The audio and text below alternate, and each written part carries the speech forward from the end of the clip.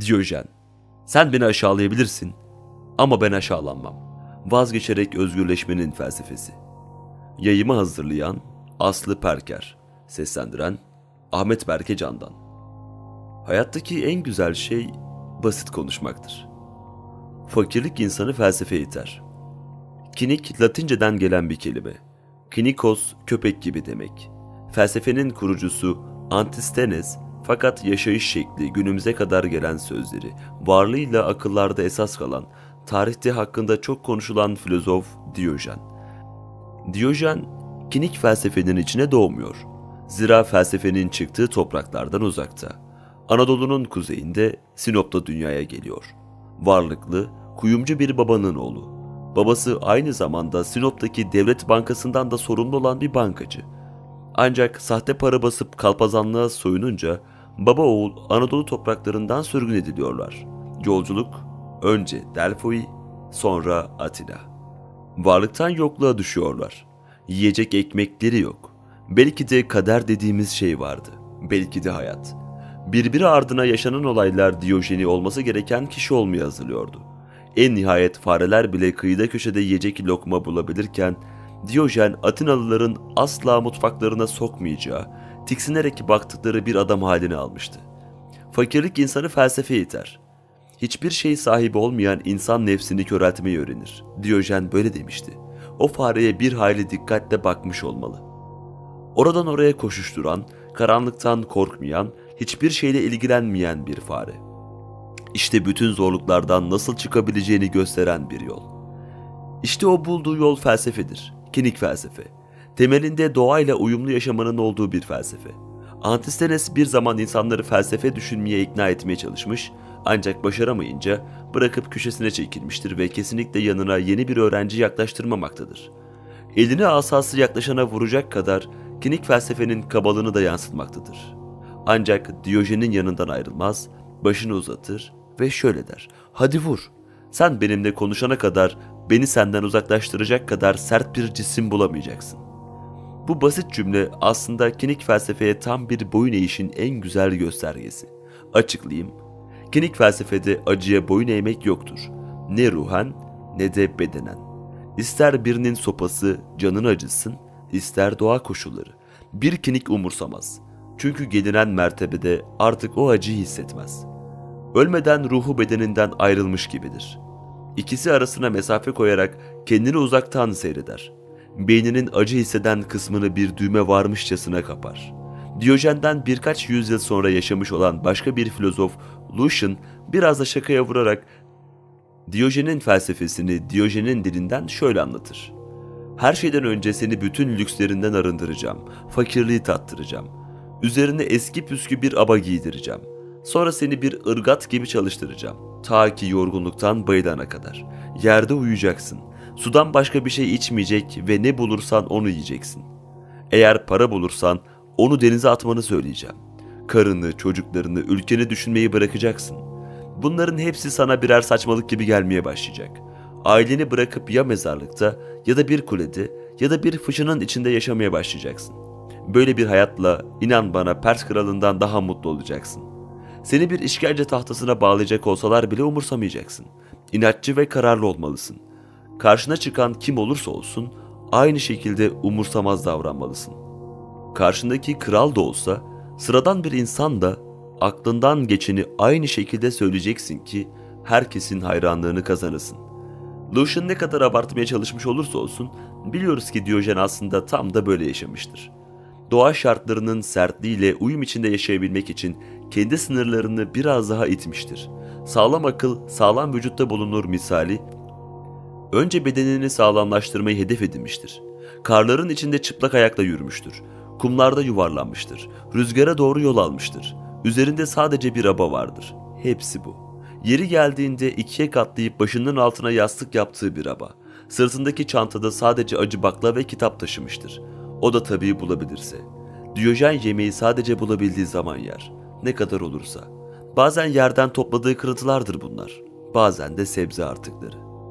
Zenginler ne zaman isterlerse, fakirler ne zaman yiyebilirlerse yerler. İnsanlar yemek için yaşıyorlar. Bense yaşamak için yiyorum. Felsefe insanı tek bir kuruş sahibi olmadan zengin yapar.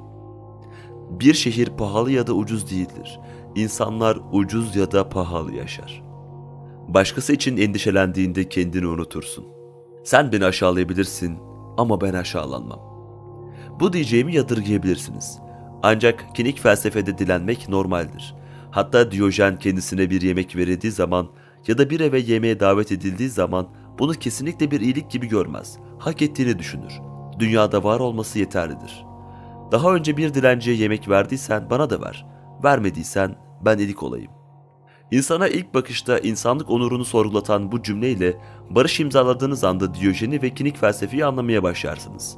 Bu felsefede utanmak hissi yoktur. Sanırım tüm felsefeler içinde insanın üzerindeki her şeyi kemiğine kadar sıyıran, onu en yalın haliyle bırakan tek felsefedir. Daha iyi açıklamaya çalışayım. Kabul etmek istemesek de hepimizin içinde bir hamlık var, bir olmamışlık. Yer yer kötülüğe dönüşebilecek, çok derinlerde aramamız gereken bir duygu. Kinik felsefe bunu baştan kabul eder ve Diyojen yine buna gerçek bir örnek teşkil eder. Bir kabalık vardır, onun yaşam şeklinde. Bizim saklamaya çalıştığımız her tür kötücül tavır, düşünce ortadadır, açıktır. Kısacası yalan bir hayata inanılmaz. Zannetmeyin ki bundan 2500 yıl önce yaşam şekli buna müsaitti. Sanmayın ki medeni olmayan bir yaşam tarzı vardı. Milattan önce 400. yıl Atina'sı tam tersine altın çağını yaşıyordu. Kültür, sanat, felsefe şehirden taşıyordu. Sosyal yaşam kuralları bugünkünden elbette farklıydı. Örneğin dışarıda yemek yemek bile ayıp olarak görülürken Diyojen kendini sokakta tatmin ederdi. Aşağılanmayı göze alarak, daha doğrusu aşağılanmayı umursamayarak ve hatta böyle bir duygu zaten yokmuş gibi davranarak böyle bir duygu yok kelimesi yok. İyi bir insan aşağılandığında bunu umursamaz. Buradaki iyilikten kastı kendi inandığı erdemle yaşamaktır. Hayatı tamamıyla gerçektir.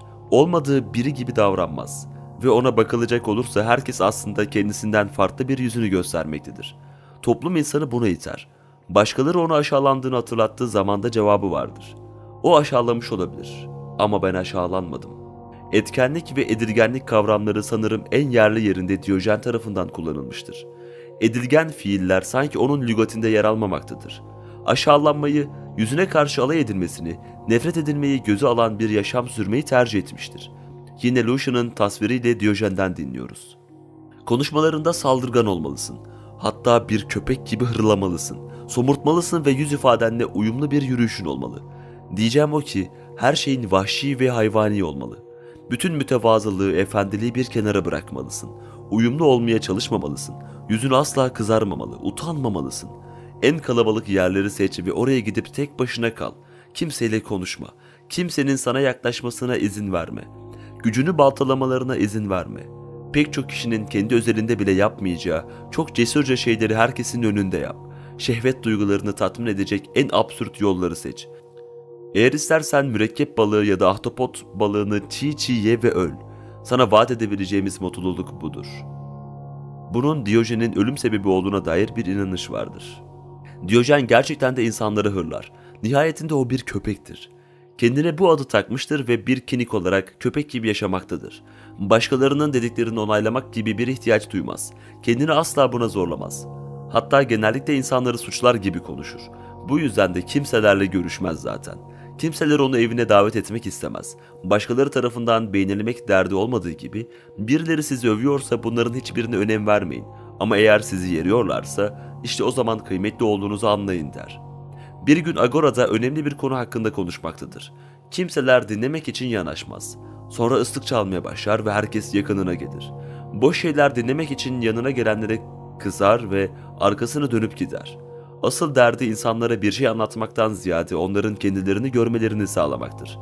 Bir başka seferinde yine meydanda Atinalılara yaptığı bir konuşmada insanın mütevazı, kendini kontrol ederek yaşaması gerektiğini anlatır. Konuşma bittiğinde onu alkışlayan Atinalılara şöyle bağırır. Hepinizin canı cehenneme. Yaptığınız her şey söylediklerime karşı çıkıyor. O alkışlayanların asla yapmayacakları bir şey alkışlıyor olmaları zaten yeri geldiğinde bir köpek gibi hırçınlaşmasına sebep olan şeyin bir sağlamasıdır.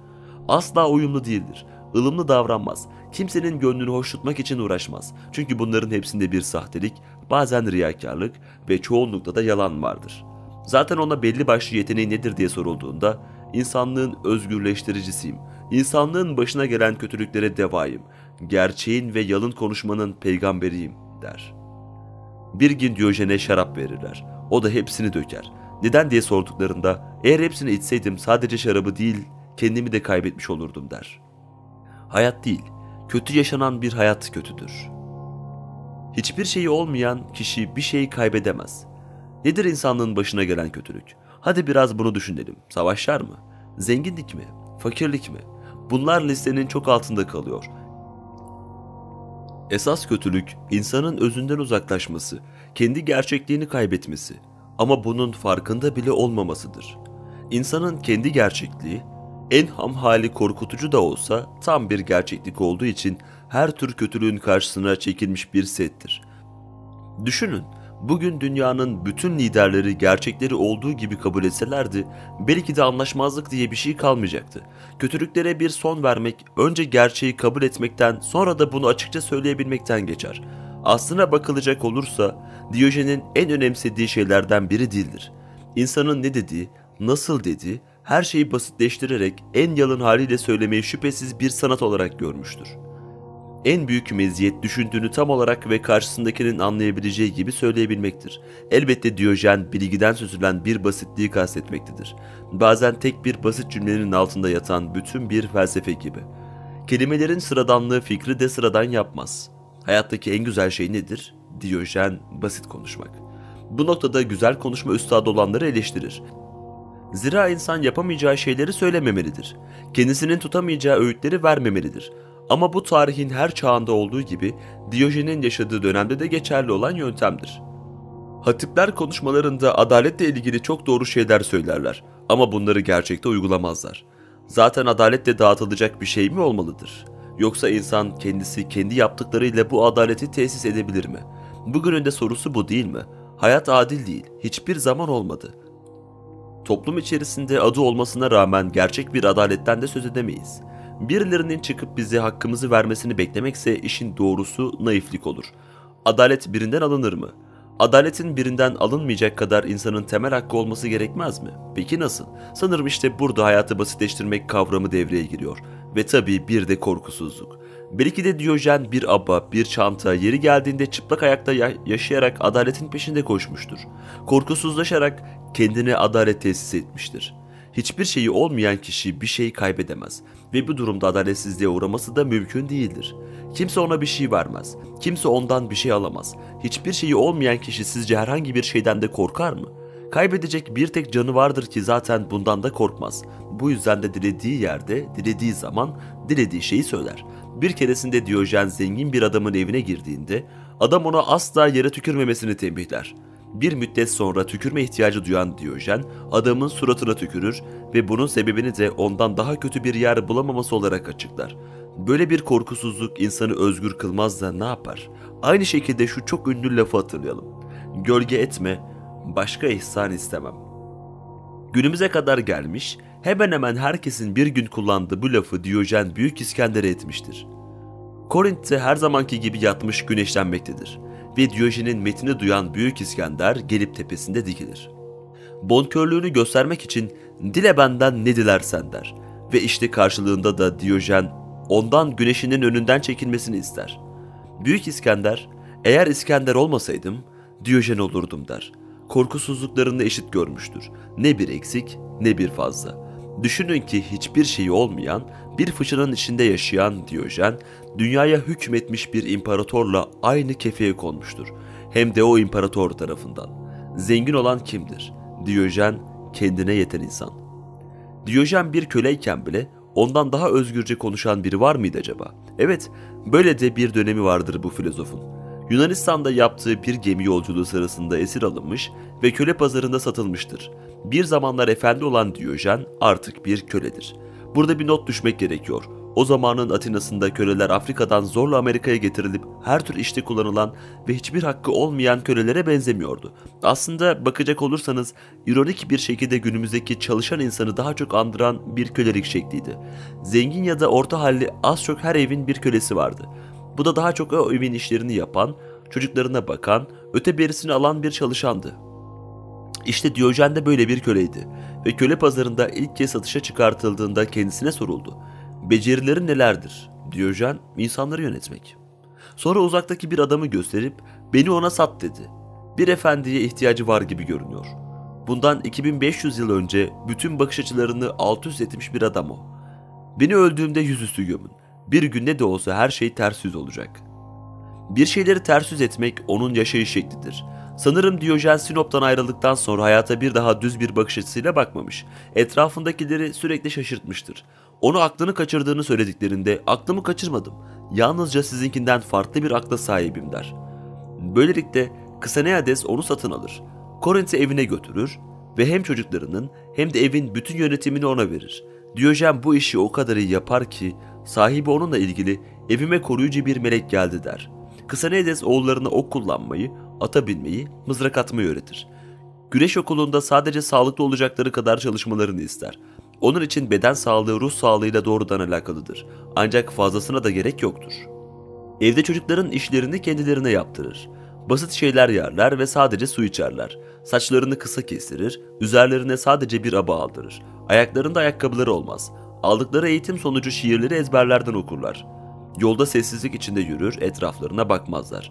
Arada bir Diyojen'le birlikte ava giderler ve bu köle efendilerine büyük saygıları vardır. Sık sık Kısanedes'ten ona itaat etmesini ister. Durumunu bir hekimin köle olmasına benzetir. Bir hekim köle de olsa hastalık durumunda ne derse yapılacaktır. İşte Diyojen de hayatta sağlıklı olmak için kendisinin yani bir filozofun köle de olsa dinlenmesi gerektiğini söyler.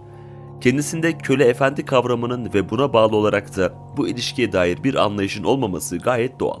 Yıllar önce Sinop'tan Yunanistan'a sürüklendiklerinde yanlarında gelen köleleri kaçınca Diyojen bunu hiç yadırgamamıştır sonuçta. Etrafındakiler Manes'i neden aramadığını sorduklarında şöyle der. Nasıl oluyor da Manes Diyojen olmadan yaşayabiliyor da Diyojen o olmadan yaşayamıyor? Kölesine bağlı olmayan efendisine hiç bağlı olmayacaktır elbette. Şöyle bir hikaye anlatılır. Bir gün Diyojen sebze yıkamaktadır. Platon yanına gelir ve Dionysos'a boyun eğseydin böyle sebze yıkamak zorunda kalmazdın der. Diyojen cevap verir. Sen sebze yıkasaydın Dionysos'a boyun eğmek zorunda kalmazdın. Her şeyin içinde bir başka şeyin parçası vardır. Ne olursa olsun ekmeğin içinde etten, etin içinde ekmekten bir parça vardır. Her şey birbirinin içinde yaşar. Kendimden başka suçlayacak kimse yoktur. İnsanlar tutkularının kölesidir. Kendinin efendisi olmak, sonrasında Stoa felsefesine uzanan yolun belki de ilk yapı taşlarından biri. Ancak bu da o kadar kolay değildir. Değil mi? Kalbimiz beynimize ve yeri geldiğinde de beynimiz kalbimize ne kadar söz geçirebiliyor? İşte kinik felsefenin didik didik etmeye çalıştığı, belki de defalarca aynı noktaya vura vura kırmaya çalıştığı kaya budur. Kendimize dürüst olalım der. Gerçeği söyleyelim, kabul edelim. Hadi ettik, sonra da ondan kurtulalım. Köleler nasıl efendilerin ne derse onu yapıyorlarsa, insanlar da tutkularının dediklerini yaparlar.'' Diyojen o kadar zor bir şeyden bahsediyor, insanları yapması o kadar zor bir şeyi anlatıyor ki, onları ikna edememiş olması, bu yüzden de 2500 yıl sonra bile tek bir Diyojen olması anlaşılır. Tutku sahibi olmanın, istek sahibi olmanın kölelik olduğunu söylüyor. Peki yanlış mı? Bugünü düşünün, kendi hayatınızı. Bir araba almak için bin saatler çalışmak birine kölelik yapmak değil mi? Peki bundan vazgeçebilir misiniz? Diyojen aynı zamanda korkunun da kölelik olduğunu söylüyor. O bin yıllar önce nelerden korkabiliyordu bilmiyoruz ama biz bugün evsiz kalmaktan korkmuyor muyuz? Yalnız kalmaktan, toplumda kabul görmemekten, çirkin olmaktan, bir adam ya da bir kadın tarafından terk edilmekten, bu yüzden de bir evlilik ya da ilişkinin içinde, güzellik merkezlerinde, yüzümüzde sahte bir gülümsemeyle eğlence mekanlarında, kalabalıkların ortasında hapsolmuyor muyuz? Bunları sorgulamak güç, biliyorum. Zira sorgulamak cevap vermeyi gerektirir ve maalesef bunlara vereceğimiz cevaplar hoşumuza gitmeyebilir.'' her gün bir tür kölelik yaşadığımızı fark edebiliriz ve bizler Diyojen kadar cesur olamayabiliriz. Bir fıçının içinde yaşamayı hayal dahi edemeyiz. Diyojen Atina'ya gelip uzunca bir süre sefalet çektikten sonra dediğim gibi bir fareyi seyrederek aydınlanmıştı. Antistenes'in öğrencisi olmuş, ondan klinik felsefeyi öğrenmişti. Hatta sonrasında bu adam beni zengin bir adamdan bir dilenciye dönüştürdü. Kocaman bir ev yerine bir fıçının içinde yaşamaya ikna etti demiştir. Belki de daha önce Sinoplu Diyojen'le ilgili yapılmış çizimleri gördünüz. Bunların pek çoğunda bir fıçının içinde resmedilir. Çünkü Diyojen o fıçıyı evi bellemiştir. Üstelik bunun mükemmel bir barınak olduğunu da yaz geldiğinde ağzını kuzeye, kış geldiğinde ise güneye çevirdiğini söyleyerek vurgulamıştır. Ben bir fıçının içinde yaşayabilir miydim? Siz ister miydiniz? Ne uğruna diye sormak ister insan değil mi? Fıçının içinde yaşayacağım da ne olacak? Her şeyden arınacağım da ne olacak? Ne gibi bir mutluluğa erişeceğim? Yahut Diyojen gibi tahta kaşığımı da bir kenara mı bırakayım? Evet o öyle yapmıştır. Çantasında yemek yerken kullanmak için tahta bir kaşık taşırken bir gün avucunu kepçe yapmış, su içen bir çocuğu görür ve doğa bana en doğru kaşığı vermiş diyerek o kepçeyi de bırakır. Diyojen kendisine bir saat gösterildiğinde Yunanlılar gnomon denen bir şeyi kullanırlardı. Burada kastedilen odur. İnsanın yemeği kaçırmaması için faydalı bir alet olduğunu söylerdi. Satılığa çıkan bir eve bakıp bir gün sahibini kusacağını biliyordum der. Malın kadar bedenine de sahip çık. Beden, vücudumuz, Diyojen için en kıymetli şeydir. Bize verilmiş en mühim enstrümandır. Saf düşüncelerimizle birleştiğinde başka bir şeye ihtiyacımız yoktur. Bir keresinde değerli bir malı olup olmadığını sorulduğunda var der. Üstünü başını ararlar, bulamazlar ve onun alay ederler. Diyojen göğsünü açar ve gösterir. İçinde birbirinden güzel şeyler olan bu vücudu taşıyorum. Ama senin gözlerin kapalı olduğundan göremiyorsun. Nasıl yani? Dalağımın, karaciğerimin, kaburgalarımın, kalbimin, ciğerlerimin, böbreklerimin bu kadar büyük bir değeri mi var? Bunlar benim hazinem mi? Galiba öyle. Belki bilirsiniz. Göğüsteki son gazete hikayesi vardır. Yeri gelmişken anlatmak isterim. The New York Times'ın kurucularından biri, bir yetimhanede büyümüş.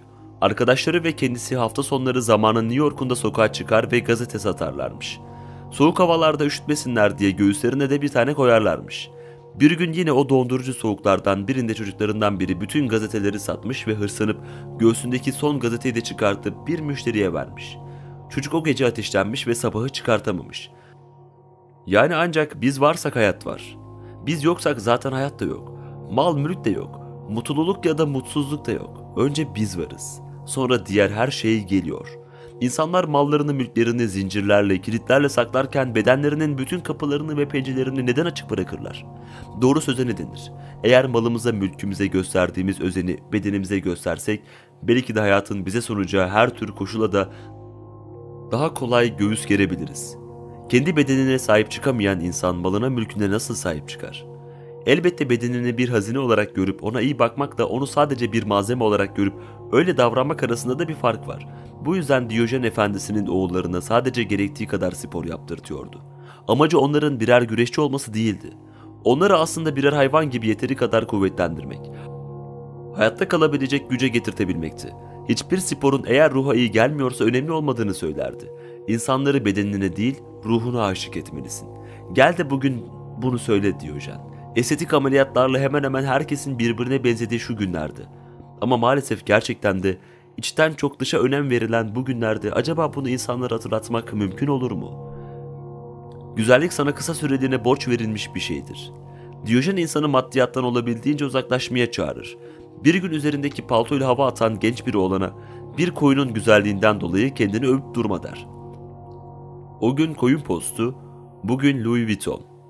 Zaten aslında bize güven verdiğini sandığımız bütün bu dış etkenler bizi aynı zamanda daha da büyük bir çukura çekmiyor mu? Güvensizlik çukuruna. Hadi biz de Diyojen gibi tersinden bakalım. Bunları üzerimizden çıkardığımız anda kendimize güvenimizi kaybetmemiz mümkün değil mi? Çünkü artık biz o üzerimizdeki post değiliz. Biz bir kürk değiliz, deri ceket değiliz, şık bir çanta değiliz. Sivri topuklularımız değiliz. Büyük kare güneş gözlüklerimiz ya da parmağımızdaki dev pırlanta, boynumuzdaki altın künye değiliz. Bizi hala sevecekler mi? Bizi hala önemseyecekler mi? Bize saygı duyacaklar mı? Şu halde mal zenginiyken ruh zengini değiliz öyle mi? Salına salına yürüyebilmemizin tek sebebi üzerimizdekiler yani öyle mi? Ve üstelik bu durumda insanların bize dediklerini her daim tartacağız. Ne kadar samimi, ne kadar gerçek. Yalakaların eline düşmektense kargaların eline düşmek yeğdir. Yalakalar insanı canlıyken yerler. Böyle der Diyojen ve şan şöhreti de zenginlikle aynı kefeye koyar. İyi bir aileye doğmuş olmayı, ünlü ve o tür her şeyi reddeder. Bunları ahlaksızlığın süsleri olarak görür. Birinin zengin olup olmadığı o zenginliği nasıl harcadığına bağlıdır.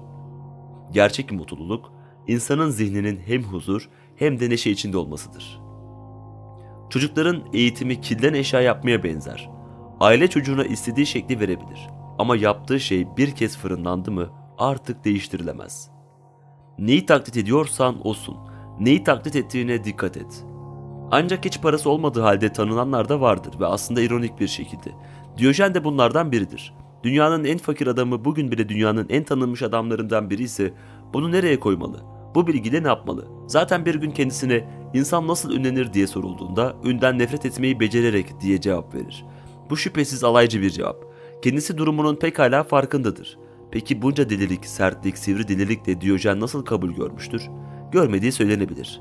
Yaşadığı süre boyunca aşağılanmış, hor görülmüş ve alay edilmiştir. Sık sık eleştirilmiştir. Bu kadar marjinal bir adamın günümüzde bile marjinal olacak kadar bir adamın 2500 yıl önce kabul görmesi çok da beklenemezdi zaten. Bir seferinde biri ona gerçekten filozof olmamasına rağmen öyleymiş gibi davrandığını söyler. Diyojen uzun uzadıya nasıl da filozof olduğunu anlatmak yerine en azından taklit ettiği şeyin filozofluk olduğunu söyleyerek cevap verir. En azından bilgeymiş gibi davranıyorum der. Bu da doğru yolda olduğumu gösterir. Hayatı bir yolculuktur. Yolun sonu da daima felsefeye çıkar. Felsefe sevmeyen birine o zaman neden yaşıyorsun ki? Eğer doğru yaşamak istemiyorsan demiştir. Ve Aristippos ona felsefeden ne kazandığını sorduğunda tek bir kuruş sahibi olmadan zengin olmak diye cevap vermiştir. Bir kazancı daha vardır ama. Felsefe ona kadere razı olmayı öğretmiştir. Kaderin onunla savaşmaya geldiğini baştan kabullenmiştir. Ve buna karşı dimdik ayakta durabiliyor, kadere teşekkür edebiliyor ve ıslık çalarak yoluna devam edebiliyorsa bunun tek sebebi de felsefedir.'' Diyojen her ne kadar eğitim de dahil dünyevi hiçbir şeye değer vermiyor gibi görünse de aslında ulaştığı noktaya kendinden önceki filozofları çalışarak, kendi öğretmenlerini dinleyerek ve ondan da aldıklarını kendi süzgecinden geçirerek gelmiştir.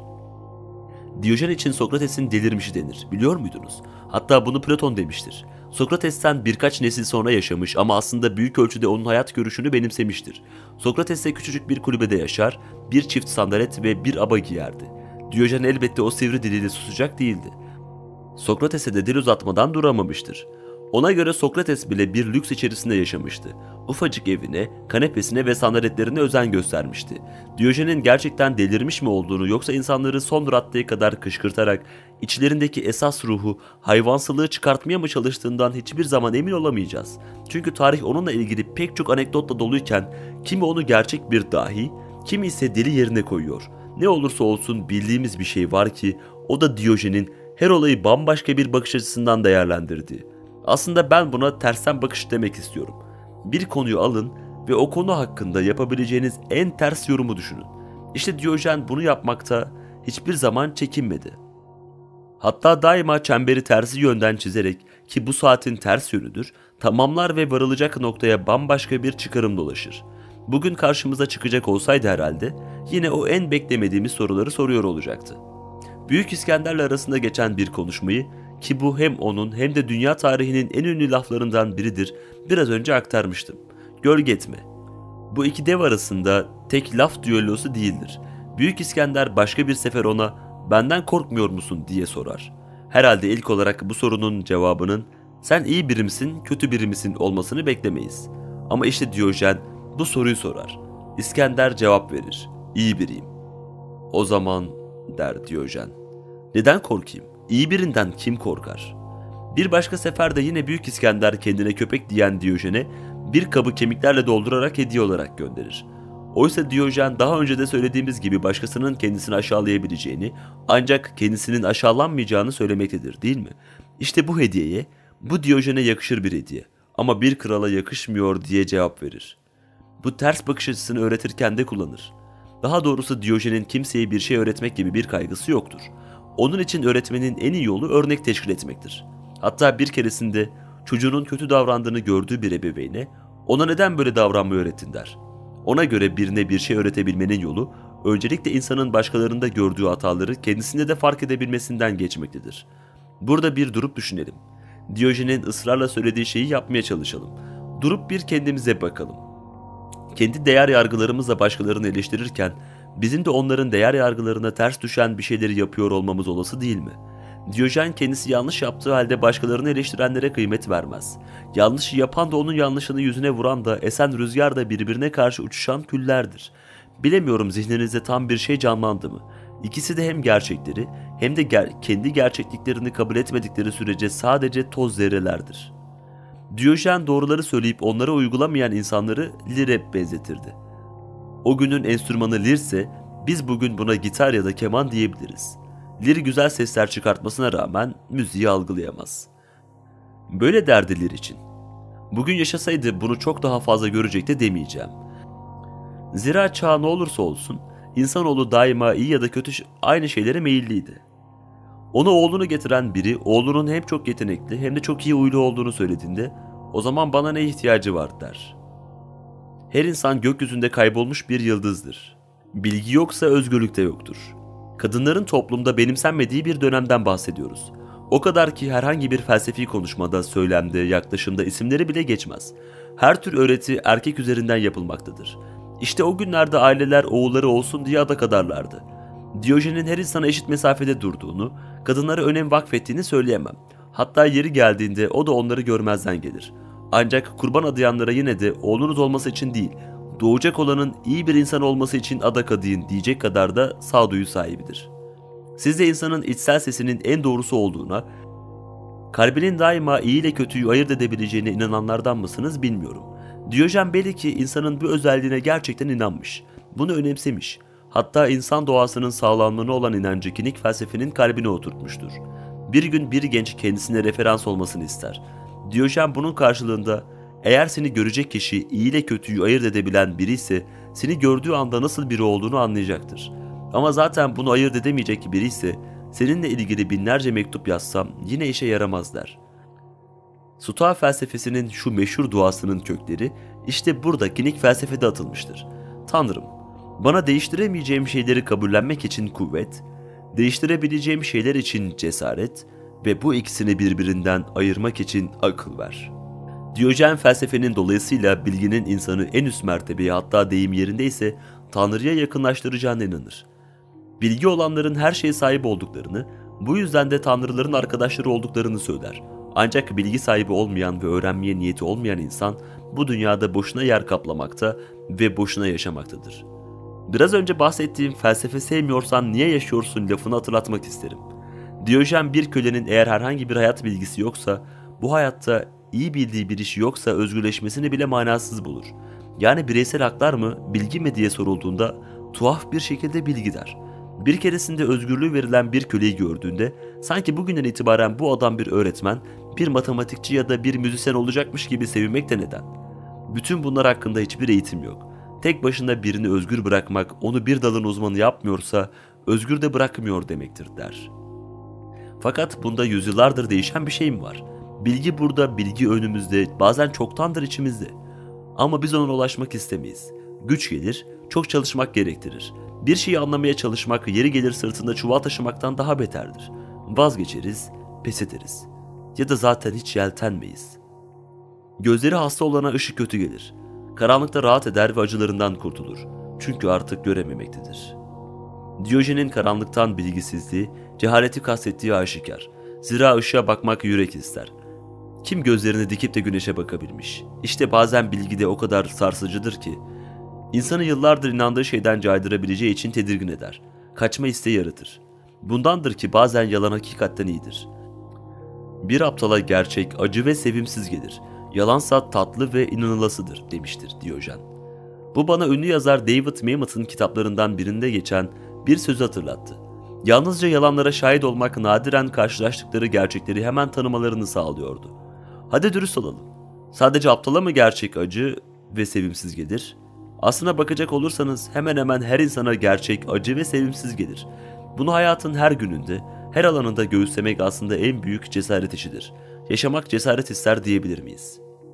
Diyojen bir masayı aydınlatmak için gaz lambasına gaz doldururken kendimiz için iyi olanı görmeye hiçbir çaba sarf etmememizi tuhaf bulur. Bir kez daha hayatı gaz lambası gibi en ufak sembolle anlamlandırmaya çalışmaktadır. Belki de fark ettiniz. Kinik felsefede öyle çok anlaşılamayacak kavramlar, üstten bir konuşma tarzı yoktur. Tam tersi Diyojen'in de dediği gibi, her şey basit ve nettir. Çocukların eğitimi kilden eşya yapmaya benzer. Aile çocuğuna istediği şekli verebilir ama yaptığı şey bir kez fırınlandı mı artık değiştirilemez. Diyojen'in en çok bilinen bir başka resminde de o gündüz vakti elinde bir fenerle gezerken görülür. Bu gerçekten yaşanmıştır. Muhtemelen hikayeyi gündüz vakti elinde fenerle neden gezdiğini biliyorsunuz. Ancak ben yine de anlatayım. Kanımca Diyojen bir metafor dehasıydı. Sanıyorum insanlara bir şey anlatmaktansa onların görsel hafızasına hitap ediyor, ilgi çekiyor ve demek istediğini daha iyi söylemekle kalmayıp oraya kazıyordu. En azından ara sıra da olsa sesini duyuruyordu. Diyojen elinde fenerle gezer ve bir adam arıyorum der. Adam kelimesini vurgulamak gerekir. Onun aradığı erdemli, iyi, gerçeği söyleyebilen bir insandır. Bunun benzeri başka olaylar da yaşanmıştır. Bir keresinde de olimpiyatlardan döndüğünde sorarlar kalabalık mıydı? Diyojen cevap verir. Kalabalıkta ama tek bir adam görmek mümkün değildi. Bir başka seferde de hamamdan çıktığında içeride kimse var mıydı diye sorarlar. Hayır der. Şaşkın bir halde kalabalık değil miydi yani diye üstelerler. Çok kalabalıktı der. Diyojen nasıl müziği bilenlere müzisyen, dil bilgisini bilenlere dil bilimci deniyorsa sadece insanları anlayanlara da insan denmesine uygun görmüştür. Ona göre doğru bir insan bulmak başlı başına bir iş. Bu hayatta bir görevdir. Pek çok adamın güreşte ya da koşuda üstünlük peşinde olduğunu ama kimsenin insanlıkta üstünlüğü umursamadığını söyler. Diyelim ki ben bir uzun mesafe maratonunda koşuyorum. Tam bitirme çizgisine gelirken yavaşlayacak mıydım yoksa daha da hızlanacak mıydım? Hayattaki en kıymetli şey umuttur. Aşk mutsuzluk peşinden koşmaktır. Madem gerçeklere sadık kalacağız, madem konumuz klinik felsefe ve Diyojen, o zaman ben de sevmesem de bu filozofla ilgili bir gerçeği söylemeliyim. Benim de duymak istemediğim bir inancını, Diyojen aşka inanmaz. Aşk işi olmayanın işidir der. İşte o rahatsız edici an. Gerçek olduğunu biliyorum ama duymak istemiyorum. Aşık oldun, aklın bir karış havada. İşi gücü bıraktın. Aşk acısı çekiyorsun. Bu sefer ruhun yerin bin kat dibinde. İşe güce konsantre olamıyorsun. Bomboş gezeceksin ki aşkın her halini de hakkıyla yaşayasın. Bu 2500 yıl önce mümkün olmadıysa şimdi hiç mümkün değildir. Bir başka gerçeği de şöyle ifade eder. Aşıklar kadersizliklerinden haz alırlar. Kendini açıkça toplum içerisinde tatmin eden ve bunu da sadece yemek içmek gibi bedeninin gerekliliklerinden birini yerine getirmek için yapan Diyojen'in cinsel temasa yaklaşımı da son derece kaba fakat nettir. Genç bir adama bir genel eve git demiştir. Ve böylelikle en değersiz şeyin en değerli şeyle nasıl da aynı olduğunu gör. Bunlar sadakat söylemleri de değildir. O düpedüz aşka karşıdır. İnsanların nasıl üreyeceğini düşünüyordu. Bilemiyorum ama öyle görünüyor ki kadın erkek arasındaki romantik ilişkiye de pek sıcak bakmamaktadır. Güzel kadınlara kraliçe der. Erkeklerin bu kadınların her istediklerini yapacaklarını bildiğinden bir kadının peşinden koşan erkeğe de neden mutsuzluğun peşinden koşuyorsun diye sorar. Hayattaki kötü şeylerden biri nedir diye sorulduğunda güzel bir kadın der. Ona göre aşk, daha doğrusu bir erkeğin bir kadına aşık olması mağlubiyettir. Atinalı olimpik şampiyon Dioksipoz Atina'ya götürülürken pek çok hayranı onu görmeye gelir. Aralarında bir de çok güzel bir kadın vardır. Dioksipoz kendini tutamayıp dönüp dönüp kadına bakar. Bu olaya şahit olan Diyojen, bakın görün galibiniz biraz önce nasıl da mağlup oldu der. Var olmak ve en az da var olmaya devam etmek dışında bir inancı olmayan bir felsefede aşka yer olmaması da gayet tabi. Ancak aşk gerçekten de akıl işi mi? Günümüzde bütün bu duyguları beyin kimyasıyla anlatıyor, önümüze endorfin, serotoninle ilgili sayısız çalışma koyuyorlar. Ama biz insanlar hala daha aşkın hem beyin hem de vücudumuzun kimyasını nasıl değiştirdiğini anlayamıyoruz. Nefsine hakim olmak az insana nasip. Şüphesiz bunlardan biri de Diyojen. Eşcinsel ilişkiye karşı çıkan Diyojen, bir keresinde genç bir oğlanla güreşirken vücudu tepki veriyor ve erekte oluyor. Tedirgin olup kendisinden kaçan delikanlıya şöyle diyor. Korkma, benim aklım ona uymaz. Zihnini her şeyin üzerinde görüyor. Sadece kendininkini değil, herkesinkini. Sosyal hayatın içinde var olmayan, dört duvar arasında yaşayan kadınların zihinlerinde olup bitenleri de yorumluyor. Bir kızın harfleri öğrendiğini görünce bir kılıcın bilendiğini görüyorum diyor. Bilgi dolu bir zihin hem keskin bir kılıç hem de en kıymetli varlık. Fakat buna da bambaşka bir taraftan bakar Diyojen. Yine doğadan, insanın doğasından ve kalbin saflığından medet umar. İnsanın önce kendi özünü kuvvetlendirmesi gerektiğini düşünür. Daha önce defalarca söylediğimiz gibi insan önce kendini özgürleştirmelidir. Bir kişi ancak herhangi bir şeye bağımlı olmayı bıraktığında özgür olabilir öyle değil mi? Para peşinde koşan biri özgür olamaz. Yalnız kalmaktan korkan biri özgür olamaz. Geçmişinden kopamayan biri özgür olamaz. Düşünün Diyojen doğup büyüdüğü şehirden kovulmuştur. Sinop'u bir daha hayatı boyunca görmez. Fakat sonrasında onunla ilgili yazılan hiçbir yazıda Sinop'a duyduğu özleme rastlayamayız. Tam tersi kendisine nerelisin diye sorulduğunda bir dünya vatandaşına bakıyorsun der. Küreselleşmeyi çok önce keşfedenlerden biridir. Zihniyle istediği yerde olabildiği sürece nerede olduğunun bir önemi yoktur. Kinik felsefede bütün sınırlar çoktan aşılmıştır. Belki de en büyük mesele bağlanmamaktır. Bir evi bile olmayan bir adam elbette özgürdür. Sadece bırakıp gidebileceği için değil, kimseye müdahalesi olmayacağı için. Müdahale kelimesini hiç uzun uzadıya düşündünüz mü? Müdahanesi olmak.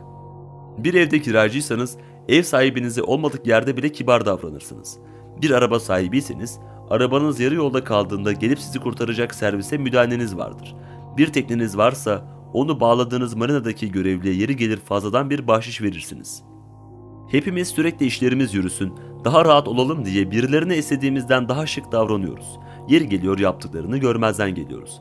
Hak etmeseler bile alttan alıyoruz. Aslında işte o an özgürlüğümüzü kaybediyoruz. Böyle bakıldığında yani çok temel bir özgürlükten bahsedildiğinde bana bir tane bile özgür insan gösteremezsiniz.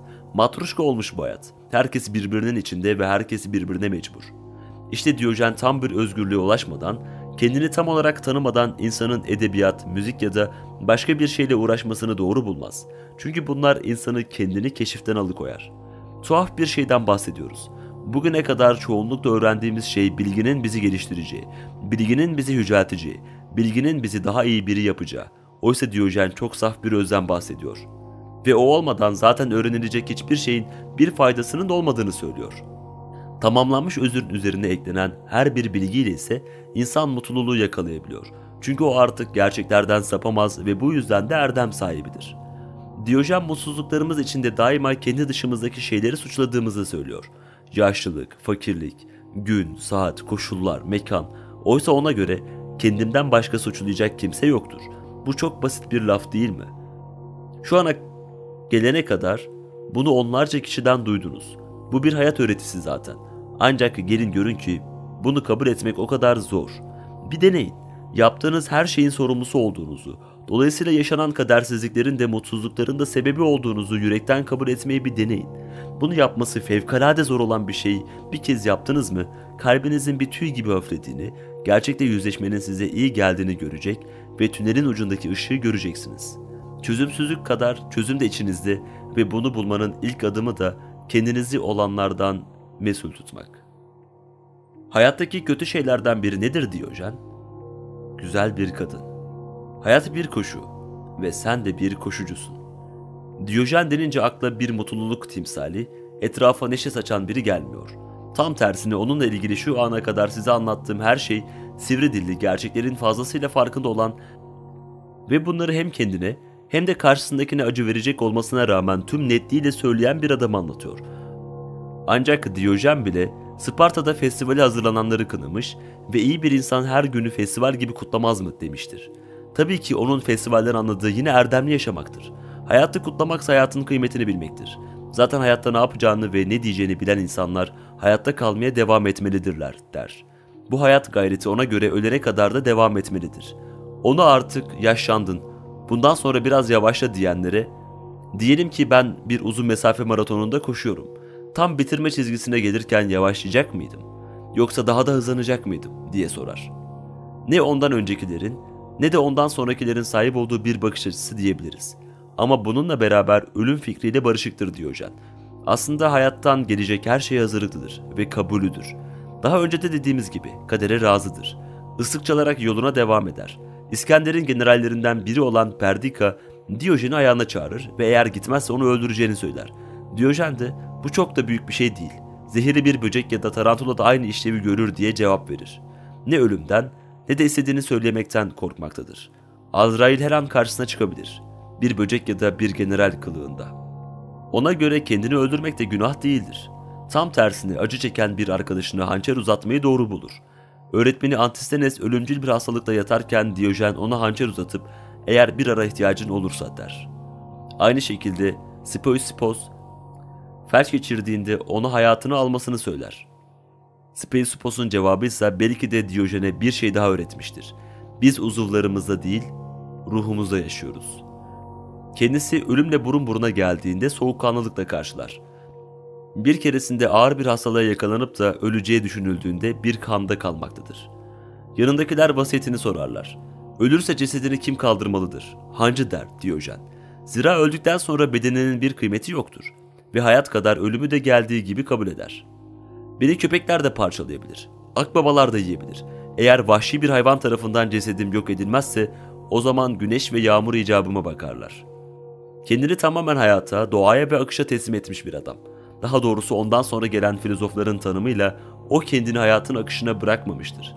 kendisi akıştır. Böylesine yalnızlığı seçmiş, kimseyi hoş tutmak için uğraşmamış, yeri yurdu belli olmayan bir adamın arkadaşlığa kıymet vermesi ilginçtir aslında. Fakat Diyojen bir kez değil, birçok kez iyi bir arkadaşın kıymetini vurgulamıştır.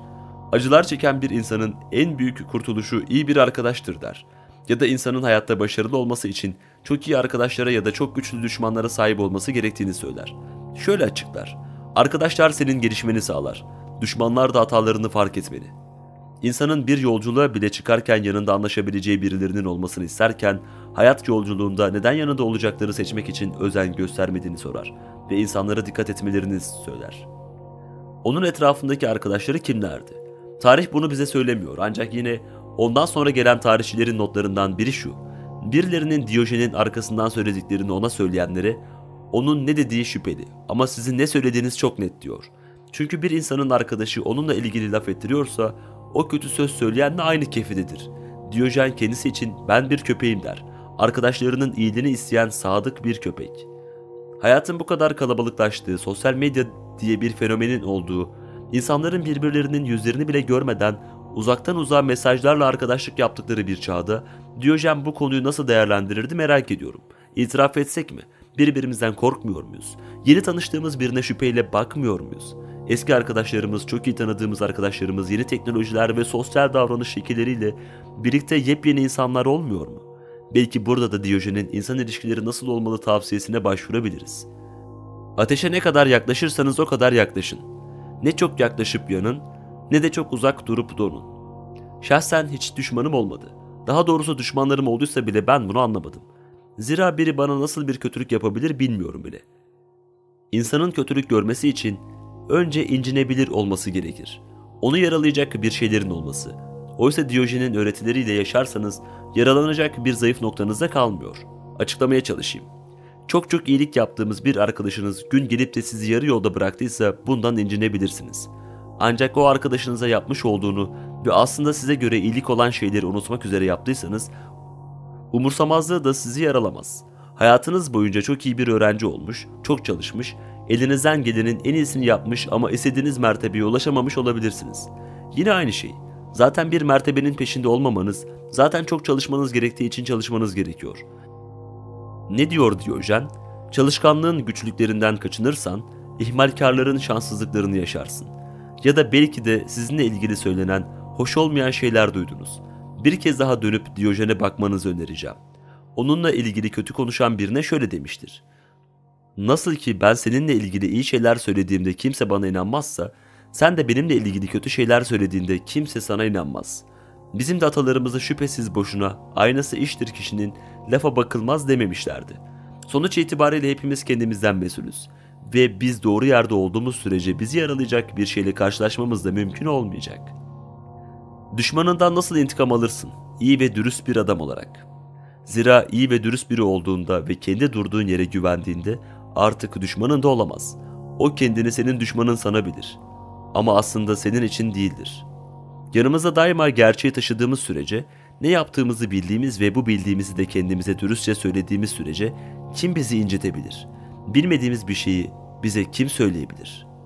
Arkadaşlar senin gelişmeni sağlar, düşmanlar da hatalarını fark etmeni. Arkadaş dediğin iki vücuda ayrılmış tek ruhtur. Senin için iyi olacağını düşündüğün şeyleri dua etme. Gerçekten iyi olanlar için dua et. Bu hayatla gülerek başa çıkabilirsin. Şu ana kadar sert, dilinin kemiği olmayan bir Diyojen'den bahsettiğimi biliyorum. Ama aslında onun bambaşka bir yönünden söz etmeden de geçmek olmaz. Diyojen özellikle de çağına göre mizah anlayışı bir hayli gelişkin bir insandı.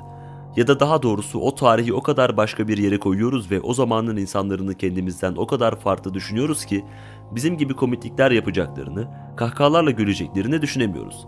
Belki de müzelerde gördüğümüz o heykeller yüzünden hep ciddi suratlı, antik çağ insanları hayal ediyoruz. Oysa bakın Diyojen bundan 2500 yıl önce ne diyor? Hekimler ilaçların tadını iyileştirmek için içine şeker koyarken, bilge insanlar da tatsız insanlarla uğraşırken mizahı kullanırlar. Tüm ekonomik kriz dönemlerinde, halkların ezildikleri yerlerde mizahın birdenbire yükselişe geçmesi boşuna değildir. Bunu sadece insanların zihinlerini, kalplerindeki sıkıntıları boşaltmalar olarak düşünemeyiz. Bu aynı zamanda aslında harikulade bir iletişim modelidir. Ciddiyetle 20 kez söyleseniz de karşıya ulaşmayan şey komik bir şekilde söylendiğinde belki ilk seferinde etki edecektir. Diyojen tarihte komik bir filozof olarak anılmıyor. En fazla alaycı ama o sivri dil yer yer çok mizahi oluyor. Diyojen bir gün büyük bir grupla ava gider ve orada çok yeteneksiz bir okçu gördüğünde gidip hedefin yanına oturur, delilik değil mi? Kendisine neden diye sorulduğunda Diyojen, yanlışlıkla vurulmayacağıma emin olmak istiyorum der. Buyurun okçunun ne kadar kötü olduğunu siz hayal edin. Başka bir gün kel bir adam Diyojen'i aşağılar. Neden diye sormuyoruz. Herhalde artık Diyojen'in pek çok konuda aşağılanabilir olduğuna siz de kanaat getirmişsinizdir. O ne o gün ne de bugün herhangi bir norma uymaktadır. Diyojen kendisini aşağılayan kel adama karşılık olarak ben sizi aşağılayamayacağım ama saçınız bu korkunç kafadan uçup gittiği için onu tebrik etmek isterim der. Diyojen'in dilenmeyi ayıp görmediğini, hatta kendisine verilenleri hak ettiğini düşündüğünü daha önce de söylemiştim. Bir keresinde yine dilenirken karşısındaki adam ona eğer beni ikna edebilirsen veririm der. Diyojen'in cevabı yine serttir ama güldürür de. Seni ikna edebileceğimi bilseydim gidip kendini asmanı söylerdim. Bir başka gün dilenirkense karşısındaki parayı çok yavaş çıkartır. Diyojen hadi ama der. Parayı yemek almak için istiyorum. Cenazemi kaldırmak için değil. Onu bir heykelin karşısında para dilenirken görenler şaşırırlar ve ne yaptığını sorarlar. Reddedilmeye alıştığını söyler. Bazen arsızca dileniyormuş gibi görünen Diyojen'in aslında ne para ne de kendisine verilecek herhangi bir şey umurundadır. O kadar ki üzerindeki abayı alsalar ses çıkarmaz. Geri verdiklerinde de kendisine ödünç verildiğini düşünür. Bir keresinde uyurken başının altından parasını çalmaya yeltenen bir hırsıza şu parayı al git de ben de uykuma geri dönebileyim diye kızar. Düşünün ki Sinop'un kuyumcularından ve bankacılarından birinin oğlu olan Diyojen çok tuhaf bir yoldan, üstelik kendi başına yürüyerek bambaşka bir adam haline gelir. Sokaklarda bir fıçının içinde yaşayan bir evsiz, hatta meczup, insanları kızdıran bir deli. Ama uzaklardan insanların hayata dair bazı cevapları almak için geldikleri bir öğretmen. Uzunca bir ömre yayılan uzun bir yol. Sürgünün felsefeye yönlendirdiği bu adam kendisini Sinoplular seni sürgün ettiler diyenlere evet ve ben de onları oldukları yerde bırakarak sürgüne gönderdim diye cevap vermiştir. Zira o gelmiş olduğu noktayı yüksek bir mertebe olarak görür. Onun evi zihnidir, parasız zihnidir, kıyafetleri ayakkabıları zihnidir. Onun parasını çalanın hiçbir kazancı yoktur. Çünkü Diyojen'in hazinesi vücudunun, kafatasının içindedir. Birkaç sefer bir zamanlar gençliğinde işlediği suç yüzüne vurulur. O suçu işlediğim zaman senin gibi biriydim. Oysa sen hiçbir zaman benim şimdi olduğum insan olamayacaksın diye cevap verir. Deneyimlerini baş tacı eder. Bir adam hiçbir şey yokken kendisini kral gibi hissediyorsa, hayattan tek bir şikayeti yoksa, gerçek mutluluk insanın zihninin hem huzur hem neşe içinde olmasıdır diyorsa, esir olarak alındığı gemide en keyifli haliyle azıcık yemeğini yiyip bunu diğerleriyle paylaşıyor ve endişelenmeyi bırak, her anı olduğu gibi kabul et diyebiliyorsa doğru bir şeyler yapmış demektir. New York'ta yaşadığım yıllarda sokaklarda gördüğüm evsizlere bazen durup uzun uzun bakardım. Genelde kilise kapılarına sermiş oldukları eski püskü döşekleri ya da uyku tulumlarında kar kış demeden yatar, kiliseye gelenlerin ya da oradakilerin kendilerine verdikleriyle yetinir, bazen de kendi kendilerine söylenerek yaşayıp giderlerdi. Çok soğuk kış günlerinde evsizlere yardım minibüsleri tüm şehri dolaşır, bazılarını zorla bakım evine götürmek için arabaya bindirirlerdi. Hizmetlilerle evsizler arasında yaşanan mücadeleye çok tanık olmuşluğum var. Çoklukla gitmek istemezlerdi. Donacaksın laflarını aldırış etmezlerdi. Düşünürdüm neden. Sonra sonra belki de Diyojen'in tarihte son olmayabileceğini anladım. Belki de o gördüklerim de akıllarını yitirmiş zavallılar değildi. Belki de onlar da başka türlü bir yaşam tarzını benimsemişlerdi. Belki de onlar da benden daha varlıklı ve daha özgürdü. Diyojen onu aklını kaçırdığını söyleyenlere, aklını kaçırmadığını, yalnızca onlardan farklı düşündüğünü söylemiştir. Hayatı boyunca elinde fenerle adam arayan Diyojen, bir gün herkesin girmeye çalıştığı bir yerden çıkmak için uğraşır. Neden diye sorulduğunda bütün hayatım boyunca yapmaya çalıştığım şeyi yapıyorum der. Sizler yanlış yöne gidiyorsunuz. Belki de yanlış yöne gitmiyoruz. Bu hayatta sadece oturup Diyojen'i dinleyecek değiliz elbette. Madem en önemlisi dürüst olmak, bu konuda da olalım. O en doğrusunu mu söylüyordu? En bilge miydi? En mutlu muydu? Bunları bilmiyoruz ve hatta belki de henüz öyle olmadığını düşünüyoruz. Ama hayatlarımıza bir de Diyojen'in fenerinin ışığında bakmayı denebiliriz. Ne dersiniz? Tanrılar var mı yok mu bilmiyorum. Ama olmaları iyi bir çare olurdu. Acılar çeken bir insanın en büyük kurtuluşu iyi bir arkadaştır. Hayattaki en zor şey kendini tanımaktır. Diyojen, sen beni aşağılayabilirsin ama ben aşağılanmam. Seslendiren Ahmet Berkecan'dan.